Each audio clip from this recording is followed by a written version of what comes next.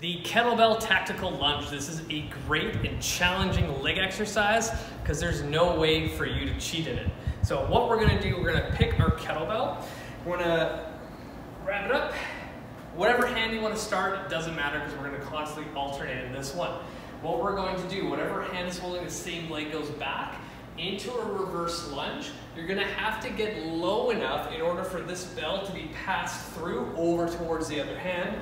Back up, and then we're gonna again do the same thing on the other side, back up. And with this one, the reason why you can't cheat, if I start fatiguing and I don't get low enough, I'm gonna literally hit my thigh and I'm gonna end up doing one of these with my upper body to cheat. So you have to, in order to get this done right, get nice and low. And over time, this is going to definitely burn the legs, no matter what weight you use. So kind of choose wisely when you do this first. So putting that all together, that is the kettlebell tactical lunge.